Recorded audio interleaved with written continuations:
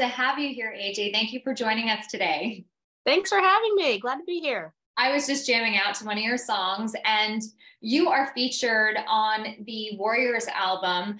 And the Warriors album, for people that don't know, is a compilation of amazing artists such as yourself who are looking to raise awareness about endometriosis. So, thank you so much for devoting your time and your talent to endometriosis, which I think is a, a really noble cause. and I'm very biased, but um, mm. for the one in 10, it is. So, thank you for that. Oh, I'm, I'm just glad to be part of it. How did you get involved in the Warrior album? So, so in all honesty, like I've heard, I heard of endometriosis, but I didn't really know exactly how much is of it has affected so many women's lives. So we didn't really get that involved until um, we got reached out to. And so we, we got reached out to be part of this project and then we learned more about it and we, we uh, you know, recorded our song for the album. And since then we've just been trying to get more involved and we're going to help do the benefit and and we're really looking forward to that what song did you give or or have on this album so we did a cover called killing the blues and it, it's just a really nice song it's not one that we've written um, i learned the Shawn Colvin version of it she didn't write it but she has a great version of it and it's just like kind of a nice title like killing the blues like together we're all just like you know killing the blues together Mm-hmm. Yeah, and anybody that has endometriosis, endometriosis knows that the blues can definitely get to you. That it's a hard illness to deal with, to live with, and um, some days uh, you do you do suffer from bouts of sadness and feeling like is this ever going to end? So it's it's a great song title and very very fitting. What was something when you said you were learning about endometriosis that you were surprised about? So I didn't realize that it's a condition that can affect any part of your body. It's not just like your reproductive organs, it's just like the tissues develop in different parts of your body. So like if you get it like in your lungs or like, you know, any vital organs, and it's really, really detrimental. Yeah, yeah, and, like very fatal sometimes. Well, it's a it's a key takeaway because it's definitely extra pelvic, and like you said, it's not just in one location. It can it can spread similar to to cancer. So um, yeah, that's uh, it's always interesting to me for people who don't have the disease but are learning about it what kind of shocks them because i i learned along my endo journey and i had a vested interest as an endo patient but to hear people kind of you know take any kind of interest and see what was surprising is always i think very um, telling now mm. your background is I mean, you you play a lot of instruments. You're very, you know, multi-talented. What um, what got you into the genre of kind of bluegrass meets country? um, so I've I've been playing music all my life.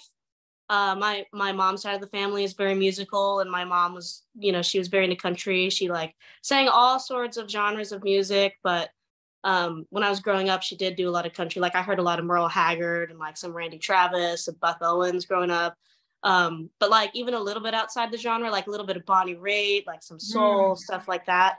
So I was exposed to like kind of more grounded music really young in life. And bluegrass is very similar to country. For those who don't know, I, I always explain bluegrass as like country without drums and a little bit quicker.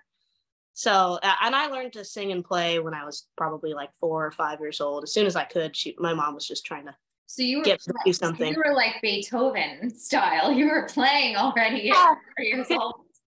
yeah, I'm I'm not that good, but but uh, yeah, I have been doing it a very long time. So, what are some of the upcoming tour dates that you have? We know that you're performing at the Warriors concert that's upcoming. Um, after that, what do you have planned? Um, after that, uh, so we just we tour all the time. So this this whole this week leading up to the benefit, we're going to be playing in Connecticut, West Virginia, Virginia, some festivals, and uh, I think we even have like a little like a little flyover to Colorado for our last little bit of the tour. So I think we're playing in Avon, and then um, Sunday I think it's probably just somewhere around here. I have to look at my tour schedule because we got so many things going on. It's always hard to keep track. Is that um for you? I've heard, you know, touring can be a mixed bag. Some musicians love it. Some not so much. For you, do you have a gypsy spirit where you really enjoy it, or are you just like, I want to be home? it really depends. I think overall, I love doing this job. I love being able to play music with some of my best friends, and we're all in the same boat. It's just like what keeps us going is the love for the music and for each other, and and the happiness it can bring to so many people. Like especially people who are uh, going through like maybe some sort of you know disease treatment or anything like that. The joy that it can really bring to them.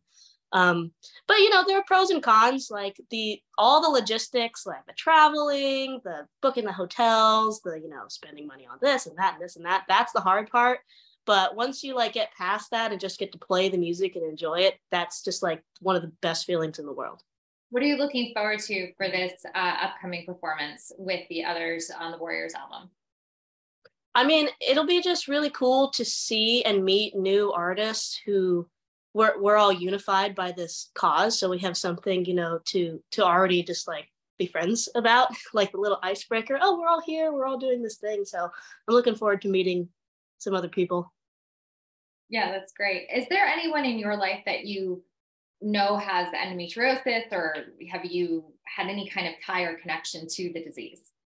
Yeah, I do have one friend that I know of um, who has it, and she's talked about it a little bit. I, I believe it's it's either like in I think it might be in her kidneys or in her back, but like the kidneys in the back is just like so tied together. So if it is in her kidneys, she's like every time that time of the month comes, she's always had like this terrible, terrible back pain and i'm just like wow i had no idea that that you had this and she actually recently found out about it i want to say like just in in recent years mm-hmm. and she told me about it and i was like that sounds like kind of the worst thing ever i'm so sorry to go through that but i'm sure there are plenty of other women in my life who i just haven't talked to have it and they might not even know themselves too because mm-hmm. as a mm-hmm. woman and you know if you're if it's that time of the month it's like you feel this pressure to not have to like you know make a big deal about it because like it's just your period or whatever right. like everyone has it or like everyone goes through it so that's why i i would want to be more open about talking to my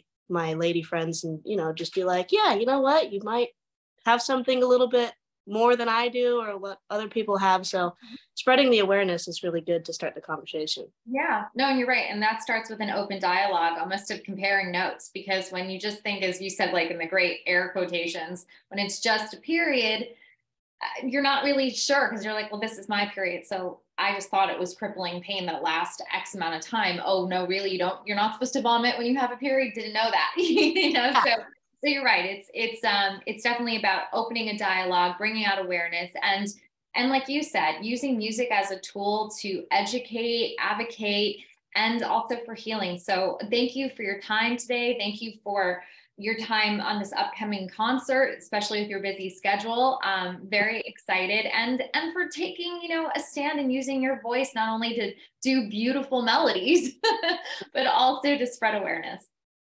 yeah, well, anything I can do to help, I'm glad to do it. And I'm going to be having fun while doing a good thing. Thank you.